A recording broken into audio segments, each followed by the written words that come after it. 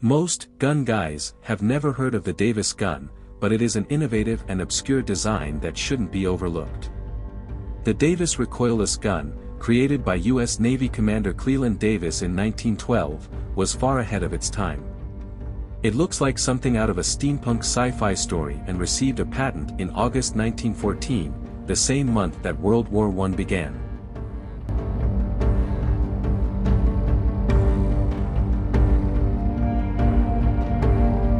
The Davis gun design included a single chamber and two equal barrels pointing in opposite directions. One barrel fired the explosive projectile while the other ejected an equal counterweight of grease and lead shot. Both loads were fired by the same explosive charge, resulting in no recoil and the barrel remaining in place. The Davis gun was patented as the C. Davis aeroplane gun and was among the earliest forms of airborne artillery. Davis applied for the patent on August 22, 1911, ahead of the first test firing of a machine gun from an aircraft on June 7, 1912. During World War I, aircraft were increasingly armed with weapons, including the Davis gun. The Royal Naval Air Service ordered different calibers of the Davis gun from the General Ordnance Company in Connecticut. The Davis gun had a maximum range of about 8,000 yards and a muzzle velocity of nearly 1,200 feet per second. Accurate fire could be achieved at up to 2,000 yards, causing considerable damage. The blast from the Davis gun could easily damage aircraft, so they were modified with light alloy plating for protection.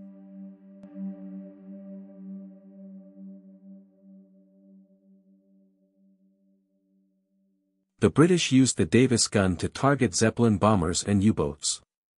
The weight of the gun was a challenge, and in-flight reloading was difficult. The gun was mounted on Handley Page 0-100 bombers and Royal Aircraft Factory R.E.8 bombers, as well as Airco DH.4 light bombers. The U.S. Navy also mounted the Davis gun on experimental floatplanes and flying boats for anti-submarine patrol missions. The Navy used a .30 caliber Lewis machine gun to fire spotting rounds for the gunner. British experiments with the Davis gun ended after World War I, while American tests continued until at least 1921.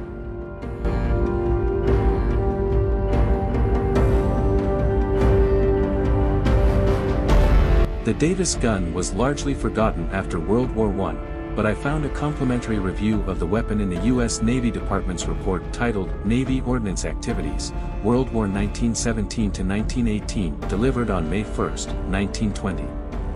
The gun was designed for anti-submarine warfare and was a radical departure from previous types of guns. It featured a rear charge that prevented recoil force from being transmitted to the mount. The gun was also equipped with a Lewis gun mounted above the Davis gun barrel to facilitate aiming. An incident off Weymouth, England, in September 1918, highlighted the potential value of the Davis gun for destroying submarines.